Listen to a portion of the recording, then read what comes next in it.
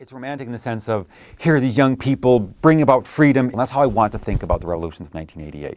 But then when I worked, I sort of got deeper into the strikes of 1988, my thoughts about 1988 began to change. I went to the town of Jastrzębie-Zdrój, uh, mining town in southern Poland, and I interviewed a lot of people talking about what had gone on during those strikes. And at one point I visited the Solidarity offices of the uh, July Manifesto mine. And I found a collection of poems that had been composed during the strike and issued as a leaflet. The style and meaning could not be more different. Um, let me read the beginning of one of these poems. It's called The Ballad of the Striking Miners. On the other side of the fence, there's a large group of smurfs, which is the uh, slang for policemen. And on this side is faith no one fears them. We will sit here from morning until the next morning.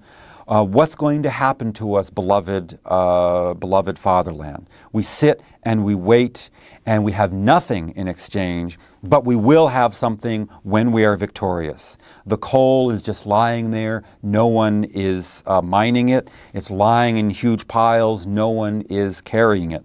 There are no ministers here. There's no general. Uh, all of Poland waits for news from us. The newspapers are deceiving us. The radio is deceiving us. Tell us now, here, uh, what is going wrong in Poland. And uh, the ballad goes on. Um, not particularly happy. There are no anarchists here. There's no sense of a movement either.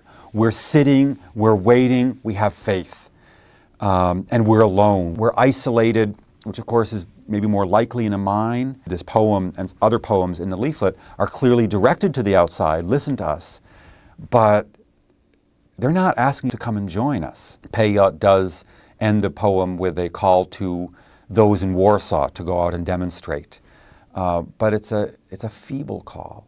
It's a sense of, you know, things have, um, things have passed us by and here we are stuck in the mine. With the exception of that second line where he mentions the Smurfs, with that exception, we just don't see the rest of Poland. We don't see those social movements. We don't see the new kinds of movements that were emerging.